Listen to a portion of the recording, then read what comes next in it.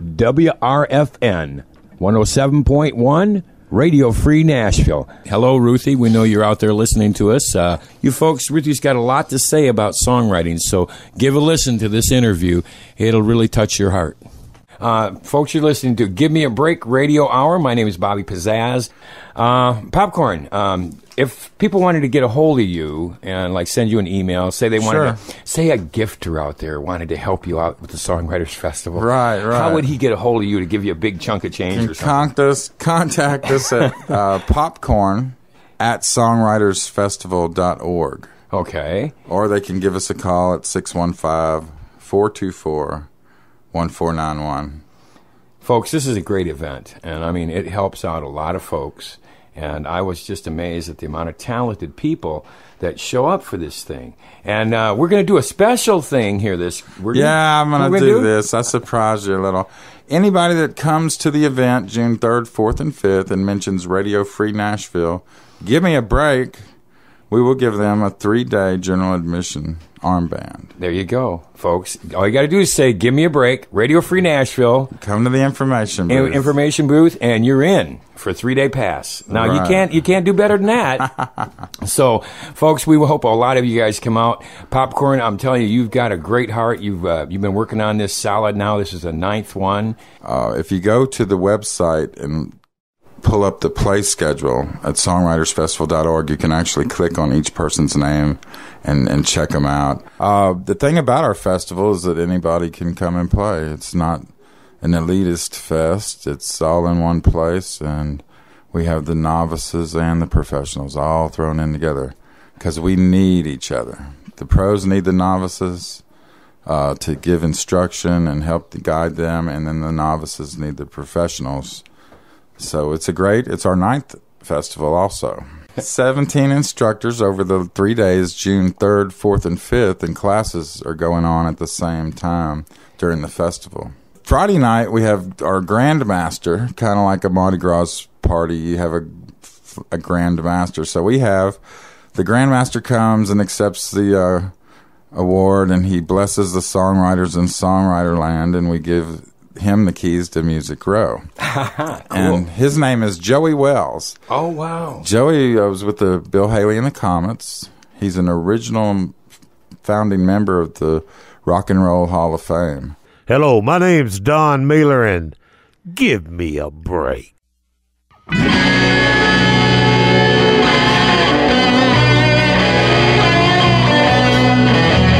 The old veteran shook his head disbelief. Said I thought to keep this country free.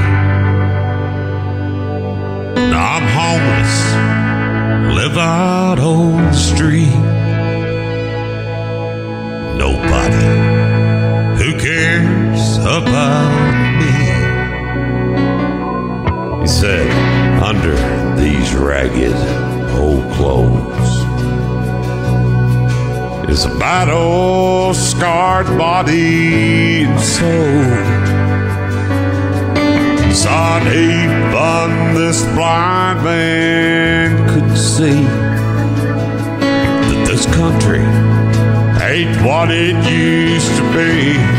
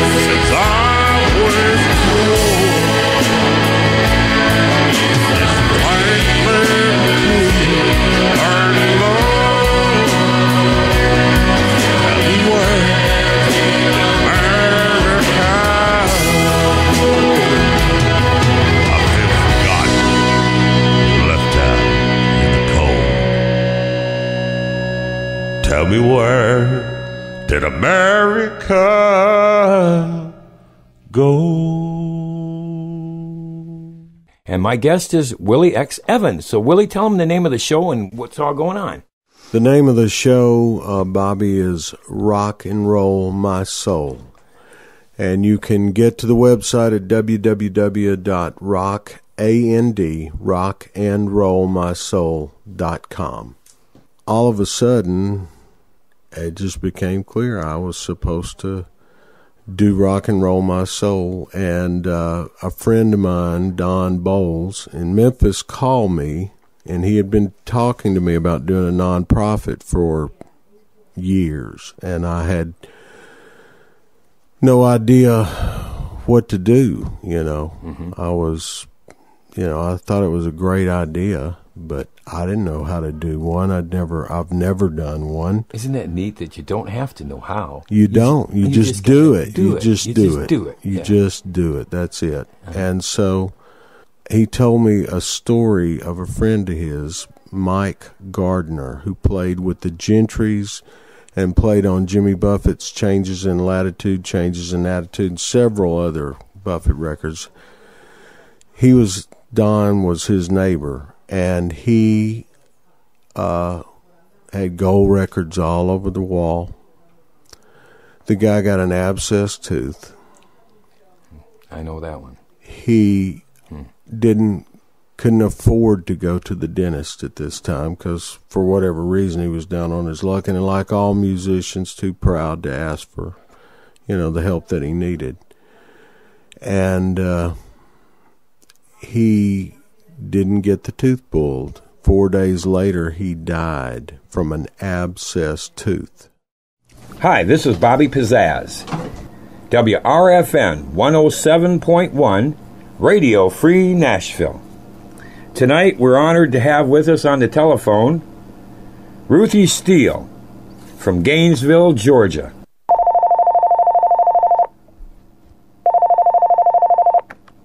Hello, is this Bobby? It sure is, Ruthie. Hey. Uh, with us tonight on the phone, everybody out there in Radio Land, we have Ruthie Steele, who is just, she's an amazing lady, and she's got a whole lot of stuff for us tonight. And Ruthie, how are you this fine evening? Well, I'm doing good. Uh, it's really, really nice to talk to you. It's been nice getting acquainted with you. Well, Ruthie, uh, I've been watching you on Facebook, and I know that I know that your family has uh, really had a big influence on, on the Nashville scene and, and on music itself. So, um, but, but but I'd like to start out with uh, asking you first of all, where are you from originally, and, and how did you get into music? Well, actually, I was born in a tiny little town called Hard Scratch, Iowa. They think I'm kidding, but I'm not. Hard scratch. Hard, and it was Scratching too. As a matter of fact, when our family left, uh, there was population 13, and we were 12 of them. Wow. yeah, really. It's a it's a little town in Iowa, and um, then when I was about fifteen, my older brother Link Barnes had uh, been in the army, and he started uh, playing guitar and formed a little band in the army. And he wrote to me and told me that if I'd learn how to play guitar, I could be his girl singer for, in his country band when he came back. So you better believe I babysat and scraped up enough money to buy a guitar. I bet you did. And uh, when he came home, he put me to work, and uh, I started professionally at age 15. I'll be darned. And Wow. uh, there, I've done it my whole life. Yeah, you have had an amazing career. Um, you were talking to me earlier about a couple of songs that you wanted to talk about, and the radio is all about songs. But what I'd really like from you, if our, our listeners are kind of wondering what it was like when you were coming up in the music business, and, and, and tell us some of your experiences. And, and uh, I know that you know a couple of friends of mine, and so I'll just mention them, and we'll kick that off and let you start. But um, when you uh, when you had your band and you first came to Nashville. Uh, I understand that you ran into John Denny. Well, actually, that was pre-planned. Uh, I had an agent. This was uh, after I'd been in the music business for quite a few years. I was in my early 30s. Oh, really? And yes. Uh-huh. So we have to start back further than that, don't we? Yeah, you have to start back much further than that. He was the one that gave me my uh, start in Nashville. but I had a uh, very good career in Omaha and the surrounding area there uh, from the time I was 15 until I was about 32. Can you tell us about that? Yeah, uh, I learned to play guitar and went to work in uh, Link's band. It was it was called Link and the Chain Gang, Link Barnes and the Chain Oh, Gang. That's great.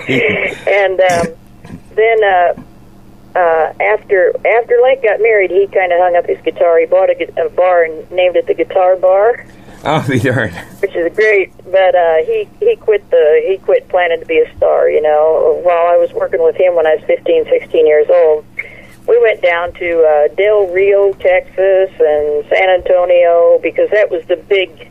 Texas was much more well known for the country music then than where we were. Yeah. And uh, so we had all those plans. But anyway, he got married, and that was the end of that for him. But uh, he hung in there by having the guitar bar and having little sing-alongs and stuff in there. Now, of course, he had two sons, uh, three sons actually. That went. He had four sons, but three of them went into music, Huh.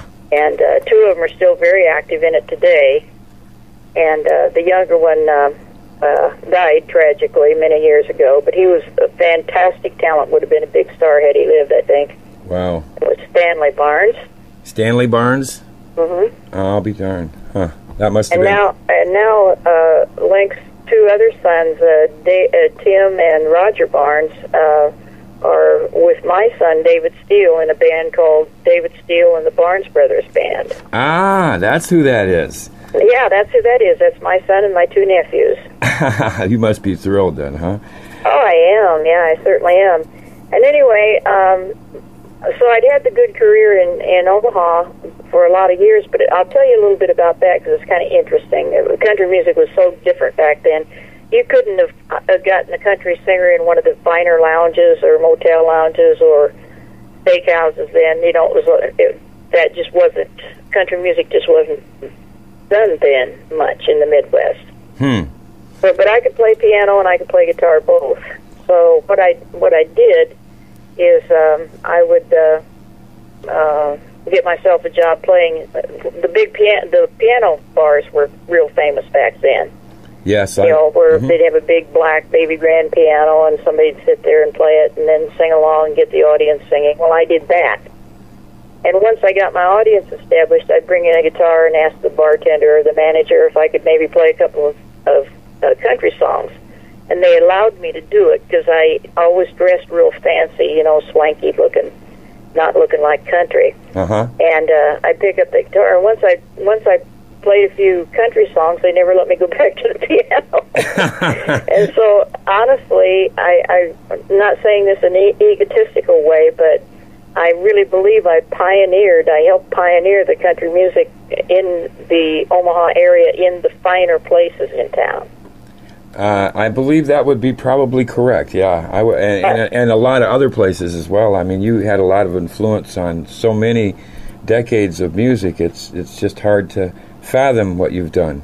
It's been fascinating. I'm the luckiest woman in the world as when it comes to music. I really am. One of the things that uh, I was noticing when I was looking at your history and all is that, and I only bring this up because uh, humor hu- humor really can heal people as well as a, a good song can heal people and and you had a character and I don't mean to jump ahead on you and I want you to circle back and go back but you had a character named Nashville Nellie Yes, I, guess I did, and I still do. and and how did that come about because that's that's got to be a story in itself It is uh, back in the in the in the 1990s. Uh, by then, of course, I was living in Nashville again. I moved in and out of there five times.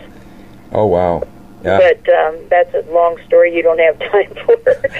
That uh, well I do have time you can tell me whatever you want it's your it's your show oh, well, hey, all right. Well, listen. Um, the what happened was I was going for for a, a professional photo shoot to get some publicity pictures taken of myself, and I had an agent at the time who was a prize-winning photographer named Mitch Karam. Everybody in Nashville kn- knows him and knew Yeah. him. mm-hmm. Great guy. And anyway, he he had just gotten the contract to shoot a cover for the Mrs. America contest, Tennessee contest.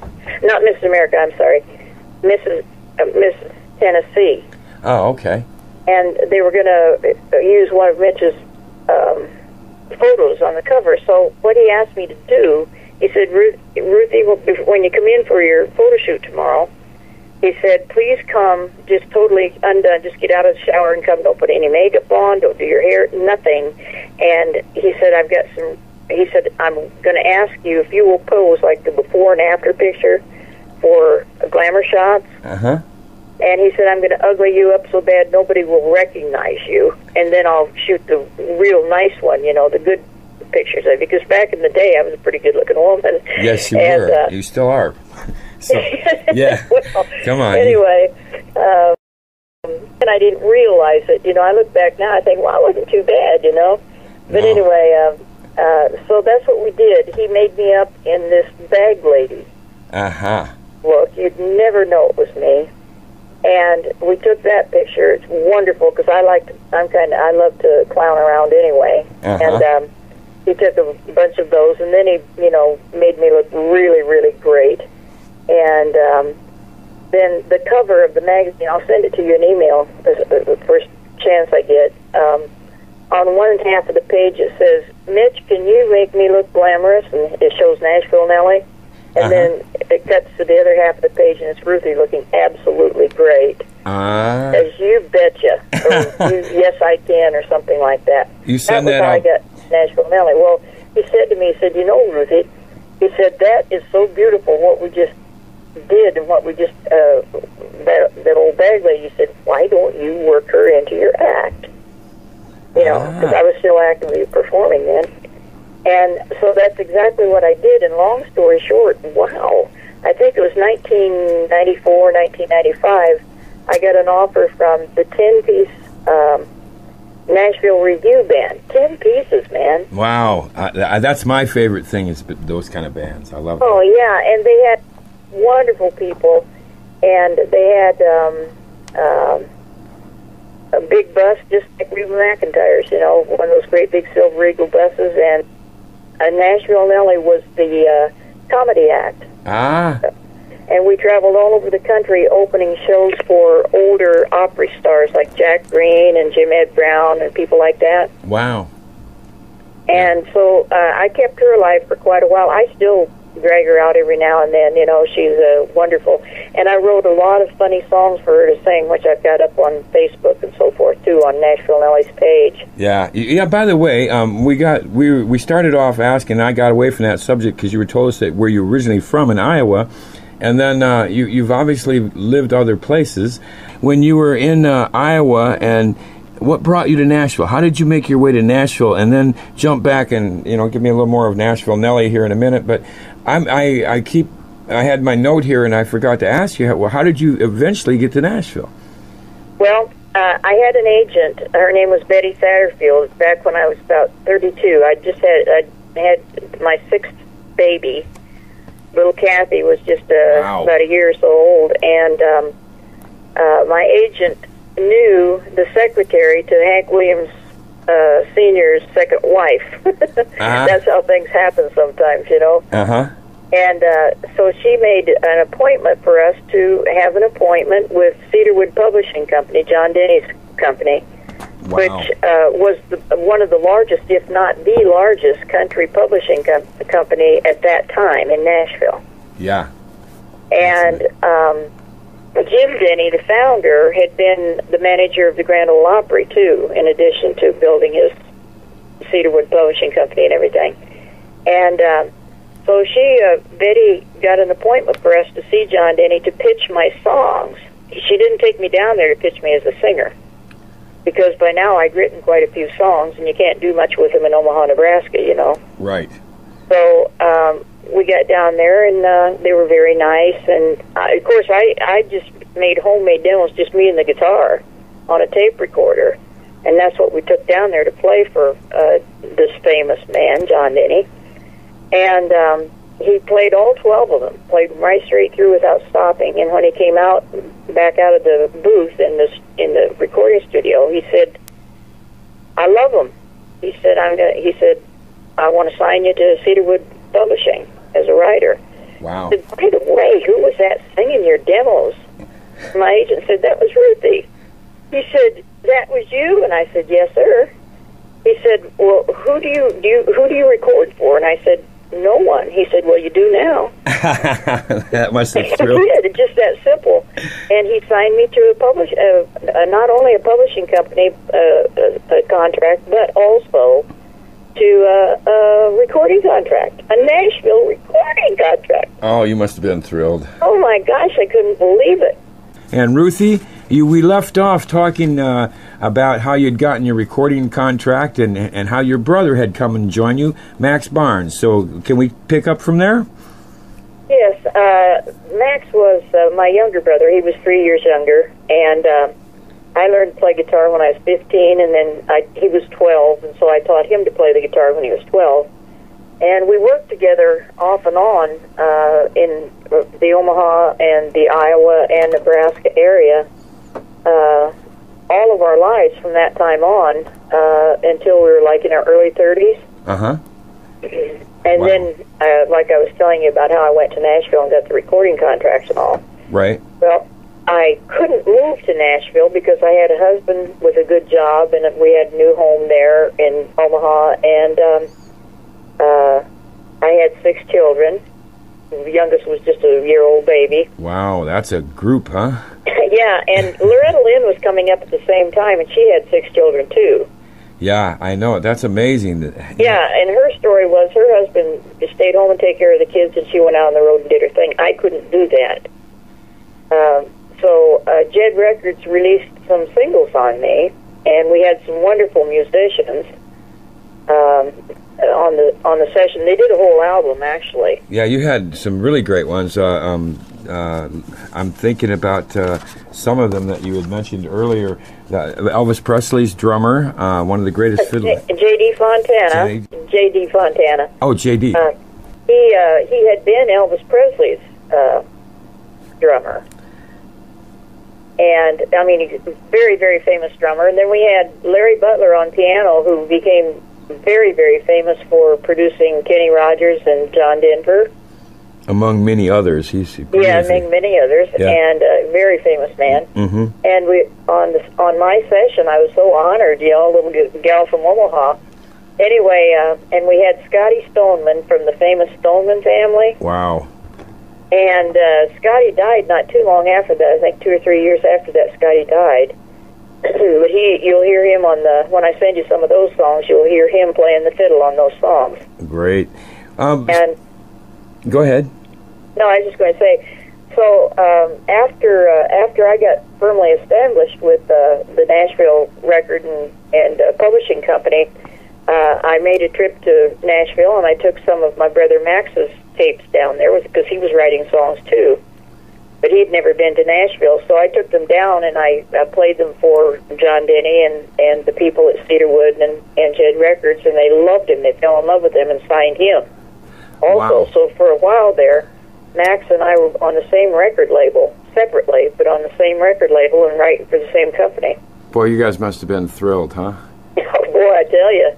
I mean, man, that's incredible. I mean, brother and sister, and, and, and that's really incredible. Tell us about those days. What was it like to, to work with them? Some of the songs that you guys wrote, and I know you wanted us to play some for you as well. So tell us about those songs and how they came about. Well, uh, excuse me.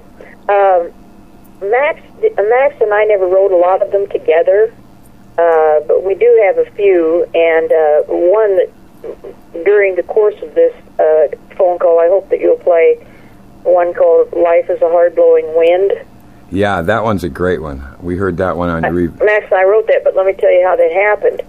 My actually, my grandson is co-writer on it. He was eight years old. It was a Halloween night, and we were sitting at the kitchen table, and it was raining and pouring, and wind was blowing, and I was sitting there by the sliding glass doors near the patio with my tablet writing as usual. And I couldn't take him out trick or treating because it was raining and blowing. oh yeah.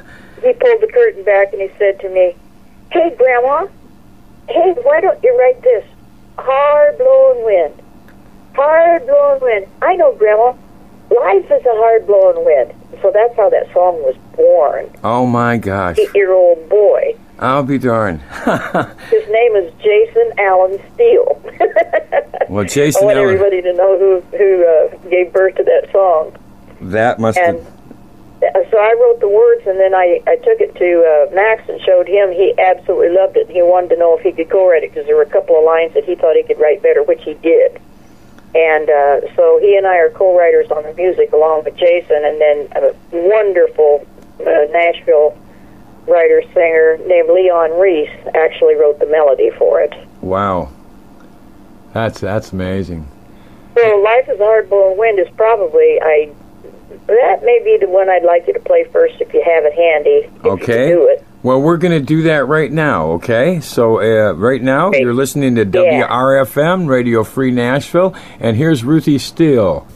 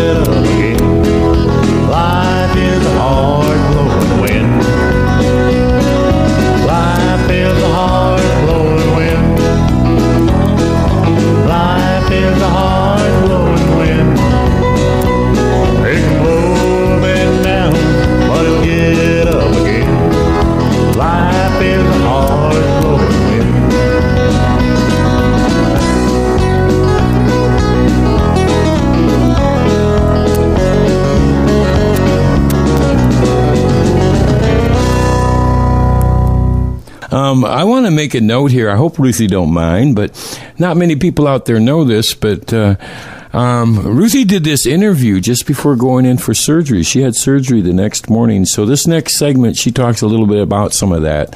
And um, so just so you know, and uh, if that doesn't show you the passion and love that she has for songwriting and for the songwriters. Okay, Ruthie. So, so after you guys got that song cut, what were some of the other songs that you did that got cut by other people? Because you you've had amazing amount of cuts, and, and, and your brothers had an amazing amount of cuts. So, can you tell us how that how that uh, man? It must have just thrilled you the first time you had your your first cut. Well, uh, yes. Uh, as a matter of fact, a young man on uh, Jed Records at the time um, uh, recorded a song that I'd written called "Muddy Bay Waters." Mighty big. and it was a song about a person who was contemplating suicide. It was a great song. Or well, listen to me.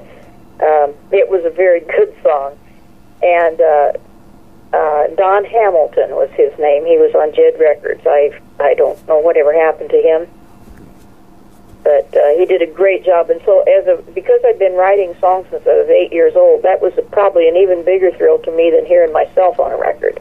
Wow. Was when I heard somebody else actually sing one of my songs. It was just amazing. Kind of gives you a, a, a, some kind of validation, doesn't it? Oh yeah. I mean, well, see, it's another thing too. I have there have been a lot of people who've recorded my songs, but uh, but they have all been uh, independent artists. I've never had a cut by a major label artist. Oh, Uh, it was Max that had those. Oh, Max had those. Yeah, he had all, he had all the well, he had a lot by indies too, but he had oh every major artist in the business for about thirty years cut Max D songs. Oh, it was incredible, wasn't it? Uh, Vern Gosdin cut forty-seven Max Wow. D Barnes songs. Forty-seven. That's incredible. I know, but uh, enough about Max. no, I'm just kidding. No, Max is an incredible writer. He wrote um, "Who's Going to Fill Their Shoes" for George Jones. He wrote "Chiseled in Stone" for Vern Gosdin, which won Song of the Year in 1989. Those are some amazing songs. You know, He wrote "Look at Us," which won Song of the Year in 1992 for Vince with Vince Gill. Wow. But that's, I mean, I, we'll talk more about him later. But he he had by virtue Ray Price, uh, Reba McEntire, Conway Twitty. They all did his songs. That must have been incredible. And I had wonderful indie, indie artists, but they're not as well known or name brands uh, like uh, Garth Brooks and so forth. Uh, they're, uh, but uh, Clinton Gregory is a pretty well known name, and he recorded one of my songs that I wrote with my daughter Kathy. I had an opportunity to hear Clinton Gregory at the uh, Commodore here just recently, and he Oh. he was amazing, you know, and uh, uh, he played several songs that just uh, just he's just an amazing writer and player. Must have Yes, been he is. He's a champion fiddle player too. Yeah. and That's what everybody tells me that you just put it in his hands and it, it, he just kind of molds into it. You know, he's Oh, he's fantastic. He is. He's incredible. So it must have been great working with all those people. I mean, my gosh, eh, you've had such an expansive career. It's just hard to pick out any one area of it. But you know, we were talking about Nashville Nelly and uh, earlier, and and then we kind of got off on and talked about some other things that uh, your brother and, and such. And can you go back to Nashville Nelly? Uh, are you ever going to bring her out again? Do you think or? Oh, absolutely. Because you see, uh, the older I get, the less makeup I have to use use to put on. oh, come on. tongue in cheek there, but uh, but anyway, yes, Nashville Nellie. What she is is she's a very realistic, old uh, bank lady. In other words, she's like a she's a homeless person, Uh huh. but Yeah. she's lived and she's a good, solid, decent human being, and she's lived a good life, and she's but she's still very optimistic and uh, looks on the bright side of things, and she doesn't cry in her beer. She doesn't even drink. so and she she always said that she'd be a stand-up comic if she could do it lying down. so I don't write jokes for her. I write funny songs for her. We, we for instance, well, Nellie and I were like split personalities. So, but anyway, I'll talk about her and the different person. Okay, Nellie um, sings songs that I wrote for her called things like uh, "Think Like a Man, Work Like a Dog." yeah, I heard some of those. They, Uh, and and you know it was true, especially in the music business. Back when I was coming up, the females didn't have as much of a uh, chance in the music business as they do today. yeah, that's what I was wanting, wanting to know about those early years. It was really tough for women. Uh, you know, the men it, they got they got the limelight, but the women they they uh, had to really struggle to get it. You know, and uh, absolutely, uh, I've heard several stories uh, about that from other artists and such that it was really tough on. Tell tell us about that because they. I mean, uh, you're right. I, I can in in some of the history I've read on on the internet anyway that it was really tough for women at that time. well, it was. And uh, as a matter of fact, I went on to become a record producer too, and that was another field that was pretty much, uh, you know, um, full of male producers and very few female producers. Uh, but you know what, though? What? the boys have a hard time too. Let's just let's just lay it out there. It's tough in the music business to really get someplace. Yeah, it sure is. It it, it And I mean, if it, if, you know, I have worked with so many young people through the years as I branched out into other areas of the music business. Um, and I've worked with so many wonderful talents that came through town that were just incredibly talented, great writers, great singers, everything. But unless they had good financial backers, it was almost impossible to get them where they needed to go. Yeah, you know that that is so true, and and it seems like uh, I've heard stories about Garth and, and Clint Black and others that have come to town. And if they hadn't had the the financial backing that they did, they they probably had a much more difficult time. But they still had the talent to do it. And you were telling me earlier when we were talking on the phone before the interview that uh, back in that day, uh, people were, it was more on their talent than you know than anything else. And and today it's kind of uh, gotten really away from that. And it's uh, can you explain like, that? I, I don't want to. Excuse me, I didn't mean to interrupt, you. No, I no. don't want to uh, disparage the the singers that are, have come since my day. You know, because I've been here forever. But uh, no, there's wonderful talent out there now. But but back in in the old old times, when I first got started, there were a lot of Hank Williams didn't have money. Elvis Presley didn't have money. To, they didn't have backers to get started. That's right. They just walked in and played. I, I remember this. Yeah. Yeah. But as as the years went by, um, it became more and more where uh, the people that you wound up with recording contracts were people who had the money with the financial backer behind them, so that the record companies wouldn't be totally at risk, you know, financially. Yeah, they uh, kept getting away from artist development over the years. It seems. Uh, Away from what? Um, the record companies, as the years went on, seemed to get away from uh, the actual artist development. Whereas in your when you first come up, you said Hank Williams didn't he didn't have a backer, and yet he was taken in and and uh, they he was recorded and such. So yeah, um, you were saying that. Today, you need a, a, lot of backing in order to take a tour around the world or around the United States, even. Well, I I think, and I shouldn't say that. I mean, I'm not making a blanket statement because God knows every one of them works hard. You know, they work hard, and every one of them deserve to be where they are. But we get there in different ways than they did in the old days. Oh yeah. Uh, most of the people coming up in the old days um, did not have any financial backing. They just made it on pure raw talent. Another thing too, there was less competition out there then than there is now. Good Lord, I'm glad I'm not trying to start out today. Oh yeah. It would be tough. I give these young people a lot of credit for it. You know, uh, there's another thing too. Is like uh, Clinton Gregory, God love him. His daddy was a famous fiddle player too, and uh, I met Clinton through um, uh, J- uh, Audrey and John Wiggins, and they went on to become. Uh, I think they were on Mercury. They got uh, signed, and uh, he was a friend of theirs. I didn't know Clinton, but they pitched my uh, the song to him that John helped me write. John Wiggins and I and my daughter Kathy wrote a song called "Darlin' Does He," and that's what Clinton Gregory uh, recorded. So John and Audrey came to town and they made it, but their daddy had been the lead guitar player, I think it was, for Ernest Tubb. Yeah. So they had some connections, you know, as far as that is concerned. But John and Audrey were tremendously talented young people, and um, and John, I believe, is still writing professionally. I don't know. I haven't heard from Audrey in a long time. Huh. You know what, Ruthie? I had an opportunity today to be with one of your old friends, uh, Bill Littleton, and Oh, and Bill Bill Littleton. Bill wanted me to that tell you hi. So, uh, um, how did you and Bill meet anyway? And and give me a little of that, if you would. Well, uh, to be honest with you, I don't remember exactly how we met.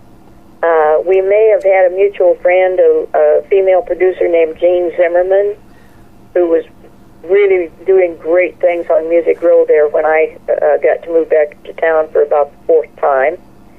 Um, and uh, she introduced me to an awful lot of people. I think she was the one that introduced me to um, to Bill. But Bill was uh, he was one of these people that he'd help everybody. He loved everybody, and he, I think he still does that today. You know, encouraging the young people, and um, he's a wonderful entertainer himself. And uh, I, I have nothing but praise for that man. I love him. Tell him I said hello, and tell him to call me. I'll tell him to call you. I really, really will.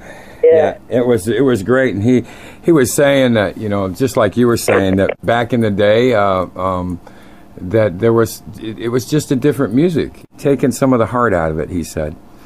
Well, but I don't think that that's uh, the fault of the artist. I think it's the way the record industry evolved. You know, and business is business. One one thing people really have to realize is the music business is business. Yeah, I think they forget that. And uh, as a matter of fact, there are two wonderful books. May I plug them? I didn't write either one of them. Sure. But for any listener out there who happens to be a, an aspiring songwriter, go either to your library or to wherever they sell books, you know, your favorite bookstore, and get The Craft of Lyric Writing by Dr. Sheila Davis.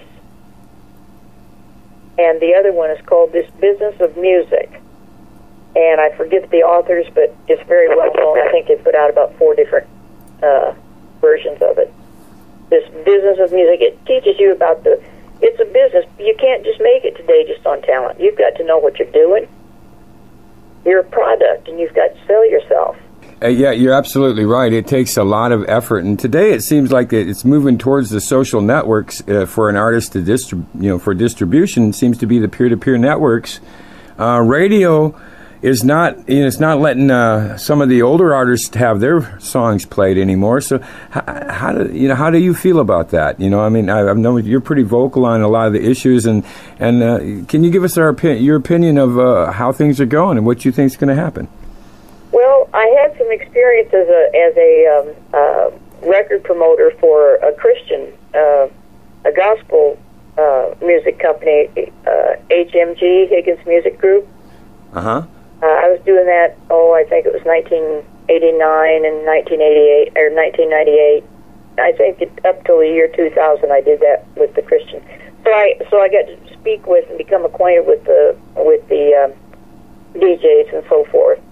And um, there are so many layers to the music business to to take from the raw talent, the young man or, or old man or woman or whatever, the singer or the songwriter, and to get them to where they are marketable and where you, a record company can make their money back off their investment. And it's just, uh, it's a whole lot different than the average person thinks it is. Yeah, there's many, many layers, that's for sure. Um, I was listening to some of your stuff, and you mentioned a song, and you want to tell them that one that you and your daughter wrote, and tell them about that one. Yes, uh, I ju- uh, just uh, uh, I just got another cut. This song's been recorded about four times by different artists, including myself. But it's a song called uh, "Life Is Not Always a Rainbow, Love Is Not Always a Rose." And to shorten the title for practical purposes, we just call it "Love Is Not Always Rose." Uh, my youngest daughter, Kathy, um, was diagnosed with uh, bone cancer in her jaw when she was 19 years old. Oh. Huh. And she was a young married woman, had two little baby boys, a 10 month old and, and a two year old. And she had been misdiagnosed by five different doctors before they decided what it was, and by that time it was too late. Oh, how tragic. And uh, this song, uh, I she was in the hospital off and on most of the time for the 14 months after that. And I stayed at, I closed down my Nashville business, went back to Omaha, Nebraska, where she lived, and um, I um, um, I stayed at the hospital room. They, she had two beds in there, and they let me actually sleep there every time I wanted to. So I was there almost all the time for all, about a year. Wow! And she uh, she wasn't a songwriter, but she could think up interesting titles and things like that. She could think up interesting lines. So we wrote a lot of stuff while we were, you know, killing time, so to speak. And she went through 13 surgeries and chemotherapy and radiation and, oh, just a horrible, horrible 14 months. Oh, but man. About uh, two months before she died, um, she, when she was a little girl, she loved rainbows and she loved yellow roses. And it just so happened a couple of months before she died, um, I had found a one of those glass hanging rainbows that you put in your window and the sun shines through. Yes, uh huh.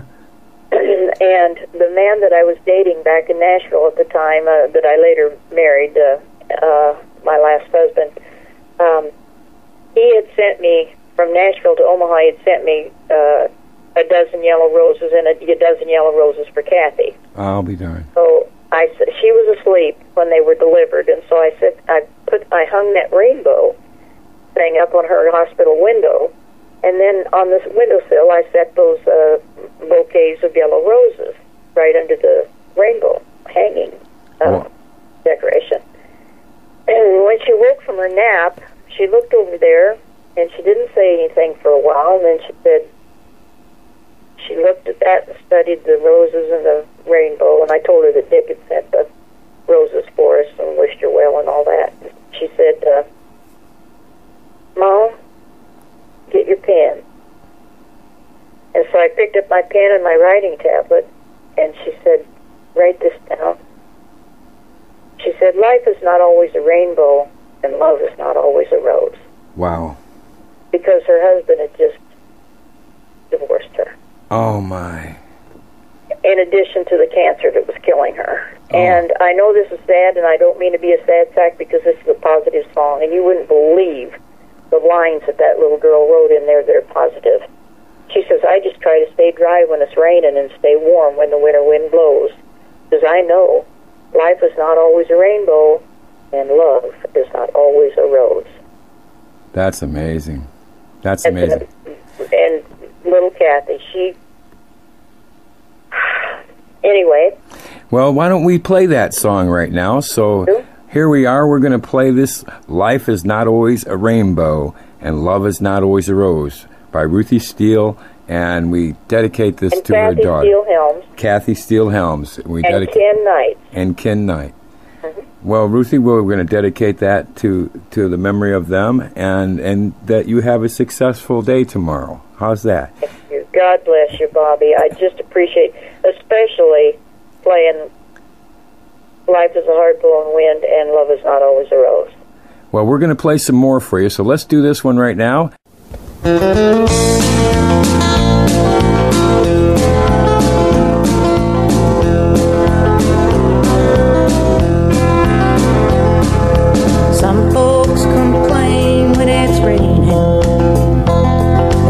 Little things that life puts them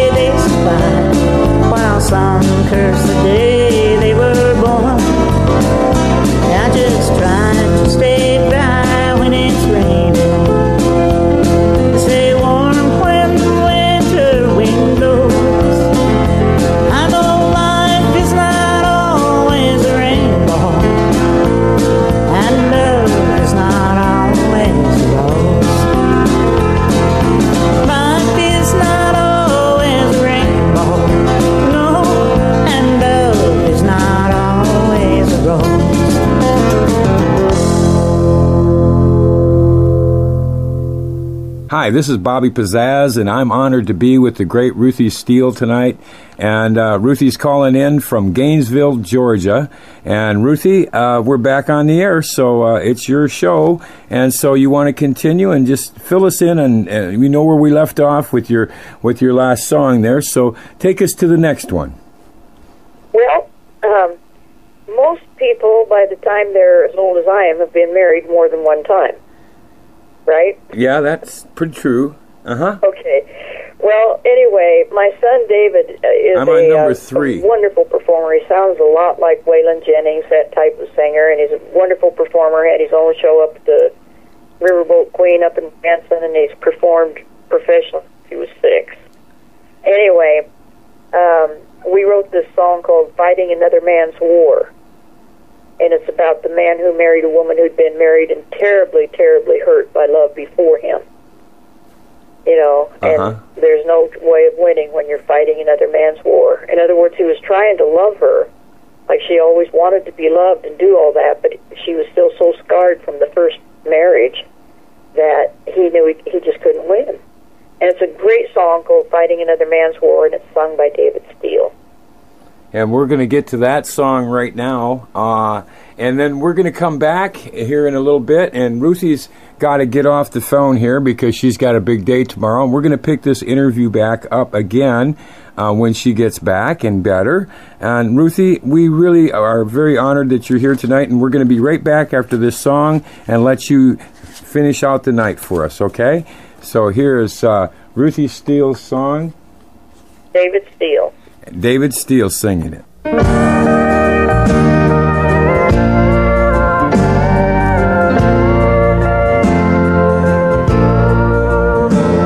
was wounded by love when he met her, and a battle was raging within. She was too tired to fight when he met her that night, and his loving arms took her in. Lady, like she'd never been treated before. But he can't win her heart. He was doomed from the start. Cause he's fighting another man's war. Another man wounded the lady. And the scars on her heart heal real slow. Chance of winning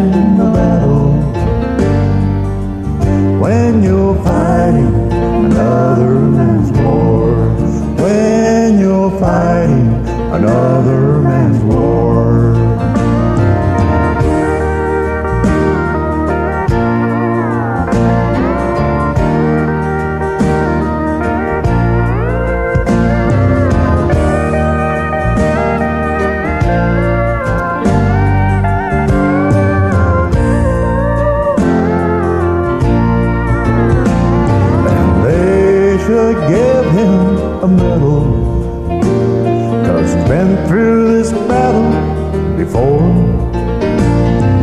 Thinking someday she'll surrender. He keeps fighting another man's war. Another man wounded the lady. And scars on her heart heal real slow. There's no chance of winning the battle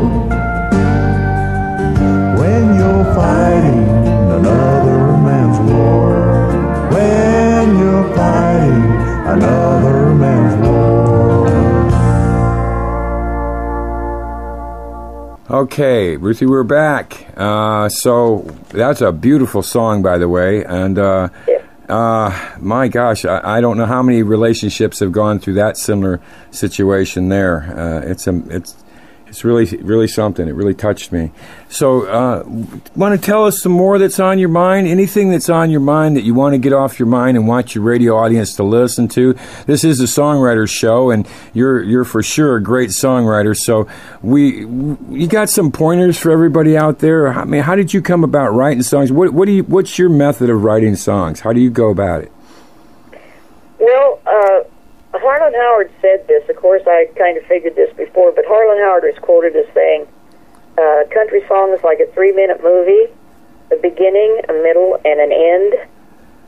Yes, I've heard that. hmm So check your check your lyrics. Uh, my my personal opinion is that the lyrics are a whole lot harder to uh, write than the music because uh, everything's been done. I've got another song. I don't know if you have it, Bobby, but uh, called "The Winds of Time."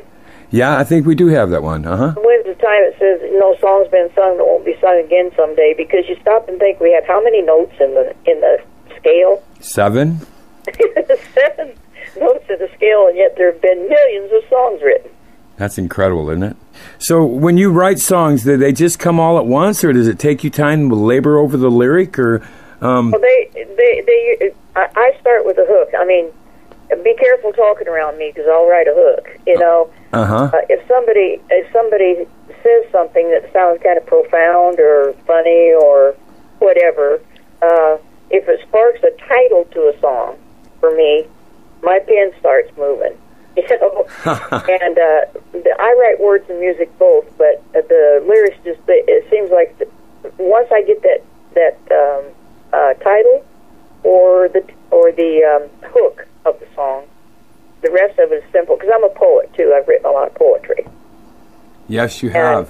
so I've never published a book of it, but I've got about ten books of it ready to go in case anybody's interested. and uh, and for can I? I'd like to just talk for a minute to actually to the songwriters about writing. Can I just do that? You surely can. That's what you're here for. You go right ahead. Okay. Listen, I want to say to all you folks who are writing, and um, even if you've written one song, fantastic. I don't care if you're 90 years old when you write your first one. Just write something down and get started. There's a particular type of writing. It doesn't necessarily uh, uh, apply just to songwriting, but to writing in general, called the the the free flow of uh, of words. Just pick up your pen and start something, even if you don't know what you're going to write when you sit down to write. You will amaze yourself at how many times something neat will fall out of your brain and land on your tablet or on your keyboard, however you're doing it. And uh, I'm dating myself by saying pen, pen and pencils and tablets, aren't I? Everybody does it on the computer today. But anyway, um, just uh, let yourself go and do realize that no song's been sung that won't be sung again someday because there's only seven notes in the scale when it comes to the music. But to me, and this is because I'm a country writer primarily, to me, the words are the most important thing in the song. And almost all of my songs are pretty much based on true life, either my own or somebody I know or somebody I'd heard of that I knew about or something like that. Um, some of it's pure fiction, especially the funny songs that I write for Nashville and LA. yeah, those are funny. Yeah, I'm going to write a song about Bobby because I love that name, Bobby Pizzaz. I love that. Thought of it, I'd name myself Ruthie Pizzaz or something. yeah, Annie did. She's Mrs. Pizzaz, all right. And I love the name Annie. My middle name is Ann, and my grandmother's name was Anna. And I just, I love that name Annie. I, I love that. And, and I'm so grateful. I have lived the most wonderful life, and I've been so blessed. Yes, you have had a, an amazing career, Ruthie, and uh, your your whole family. I mean, you guys were some of the people that made Nashville what it is today.